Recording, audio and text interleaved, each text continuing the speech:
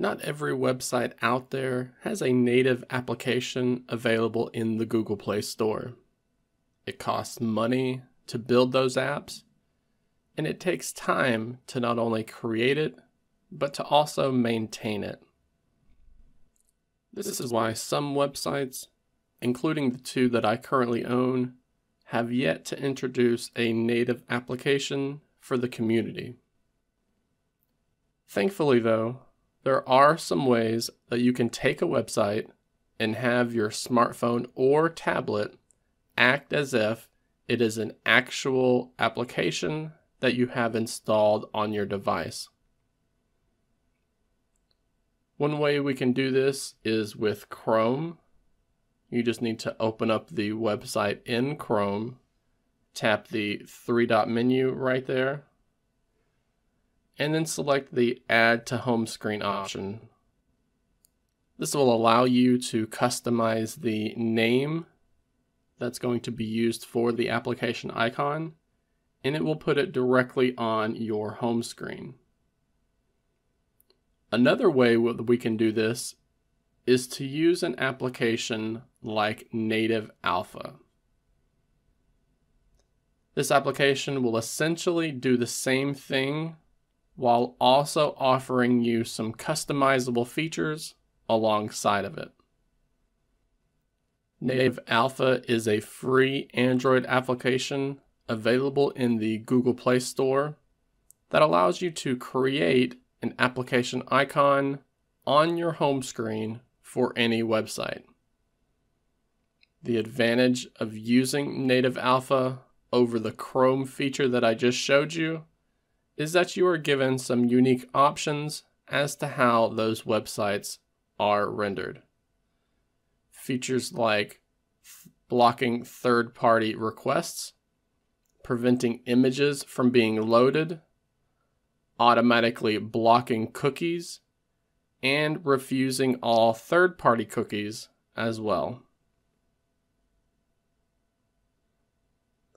The application works by first tapping on the red floating action button that you see down here in the corner.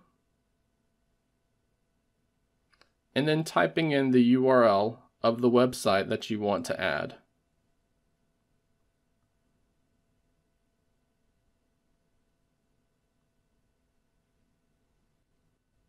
Play Store Sales is a website that I created back in 2015 and I have been working on it almost every day for the last eight years. Once the website has been typed in, you can let it choose the application icon for you, which is pulled from the favicon of the website itself, or you can set a custom icon of your choice. You're also allowed to edit the application name, which is going to be displayed underneath the app icon itself.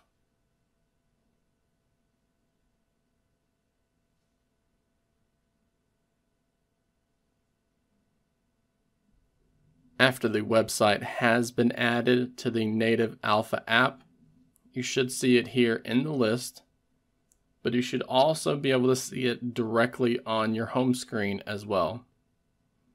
We can then tap that application icon to load the website just like you would any other native Android application.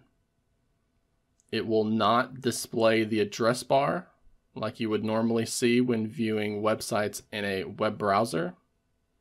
So it functions almost identically to a native application that you have installed on your Android smartphone or tablet. If the website is designed well, it will even look like it was always made for a smartphone or a tablet. It doesn't store any of the website on your device, so it won't be able to display anything when you're offline but maybe the developer will be able to add this feature in a future update.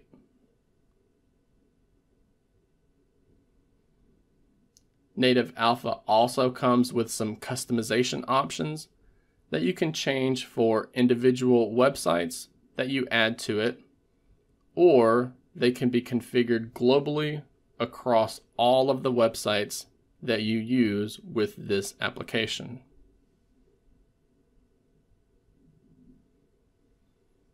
For example, we can choose to block all JavaScript from being loaded whenever we visit a website using the native alpha home screen shortcut.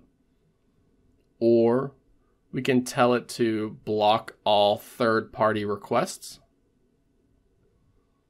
Most permissions are blocked by default, such as access to your location, the camera, or the microphone, but those can be configured here in the settings as well.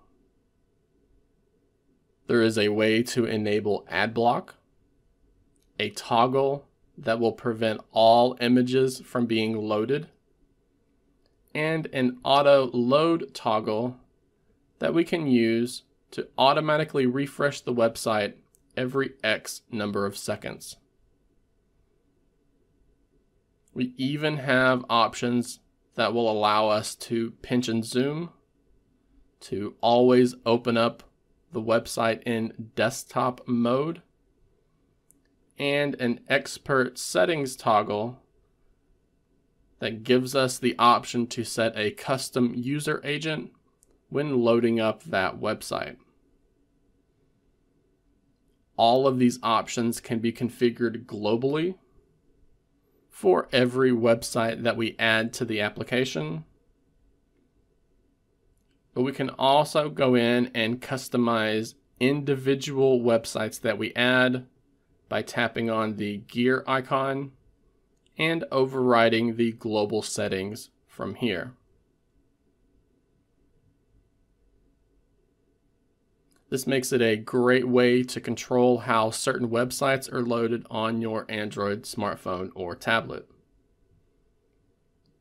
So you can see the advantages of using an application like Native Alpha rather than using the Add to Home Screen feature that is built in directly to web browsers like Chrome. The application is available for free in the Google Play Store. And I'll even include a direct link to it down in the video description below. There is a paid version available right now that can be purchased for $3.50. It comes with all of the features that you saw here, as well as a way to load these websites in a sandbox, an optional immersive mode feature and an experimental dark mode option that can be configured to automatically change depending on the time of day. Native Alpha is a great solution for websites that do not have a presence in the Google Play Store, but it can also be used to avoid invasive permissions that we see so often in native Android applications. I see this application recommended quite often for people who use social media apps like Facebook and Twitter when they don't want to deal with the hassle and restrictions that those apps have chosen to implement.